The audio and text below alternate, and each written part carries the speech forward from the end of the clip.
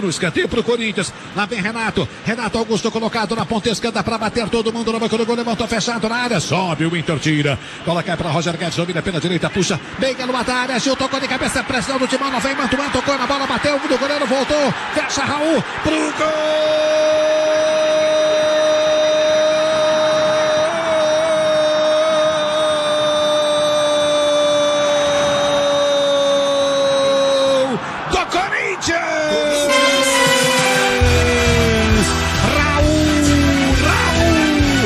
Gustavo, zagueirão, tá lá vibrando, dando soco no mar, ganhando abraços, comemorando, gol sofrido no timão, Gil de cabeça, aproveitou o cruzamento no Roger Guedes lá na direita, salvando a linha de fundo, Gil de cabeça meteu na área, Mantuan dividiu com o goleiro, a bola espirra, sobe pra Raul, mesmo caindo, desvia, pro fundo do gol! Gol do Timão. Tá empatado o jogo.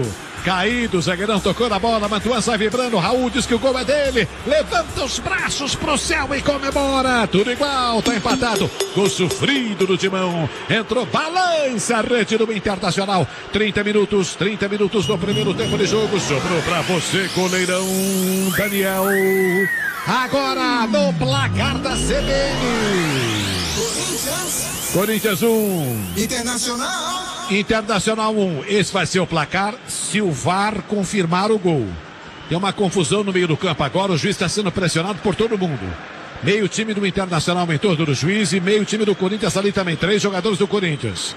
Juiz está conversando e a cabine está falando. Ele está com o foninho no ouvido lá e está recebendo, evidentemente, orientações lá da cabine. Vamos ver se ele valida o gol ou não.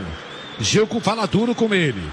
Juiz pega, pede a bola agora para o camisa número 14, o Carlos, é, Carlos de Pena. E está explicando para ele, gente, há algum tempo surgiu um mecanismo que se chama VAR, que é o árbitro de vídeo. Está explicando lá para o Internacional e para o Corinthians. Os caras estão lá na cabine, tem lá três juízes lá vendo o lance.